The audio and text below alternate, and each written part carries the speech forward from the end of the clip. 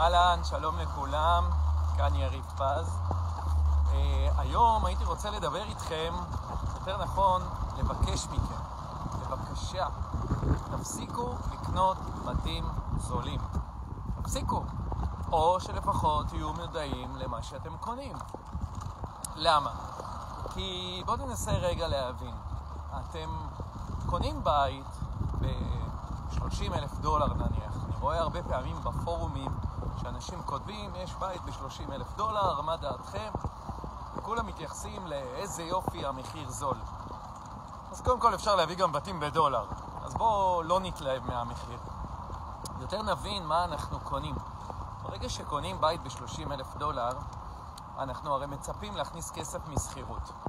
עכשיו, בפני הדייר שלכם, שלנו, עומדות בעצם שתי אופציות. האופציה הראשונה זה לשכור את הדירה, סביר להניח שאת הבית הוא יושכר בסביבות 700 דולר, משהו כזה, או לקנות.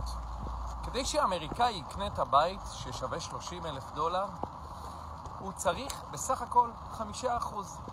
5-10 אחוז. זאת אומרת שאנחנו מדברים שהוא צריך להעמיד הון עצמי של משהו בסביבות 1,500 עד 3,000 דולר. והוא לא עושה את זה. למה הוא לא עושה את זה? פשוט מאוד. או שאין לו 1,500-3,000 דולר, או שיש לו, אבל הבנק לא רוצה לתת לו את ה-27,000 דולר הנוספים. מה זה אומר עליו? מה זה אומר עליו? איך אפשר לבנות עליו על פנסיה? הבנק לא מוכן לתת לו את הכסף. אז אתם מוכנים? אני לא אומר שבתים זולים זה דבר לא טוב. אני בעצמי בעלים של לא מעט בתים זולים כאלה, אבל לפחות אני מודע לזה. אני מודע לסיכון. ואני יודע שיש סיכוי יותר מסביר שהוא לא ישלם שכירות. ויש סיכוי יותר מסביר שנצטרך לעשות לו אביקשן. ויש סיכוי יותר מסביר שאם הוא יישאר עד תום תקופת השכירות, הוא גם יעבוד. כי אלו אנשים לא יציבים, לא במקום העבודה שלהם, לא בבית שהם גרים, וכמעט לא בשום דבר בחיים שלהם.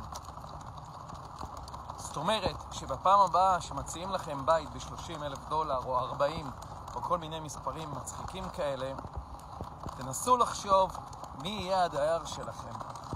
ואל תתפלאו, בואו כולנו לא נתפלא אם ההשקעה הזאת היא לא תצליח. או יכול להיות אולי שהיא כן תצליח, אבל הסיכון פה הוא רב. זה בערך, אני אוהב להגיד למשקיעים שזה בערך כמו לקנות ביטקוין. אל תתפלאו אם אתם קונים ביטקוין ופתאום הערך שלו יורד ב-30-40 אחוז. אז אותו דבר פה. בתים זולים, סיכון גבוה.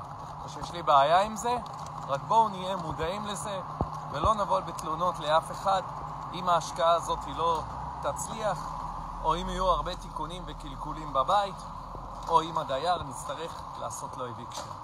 אנחנו נשתמע בסרטון הבא.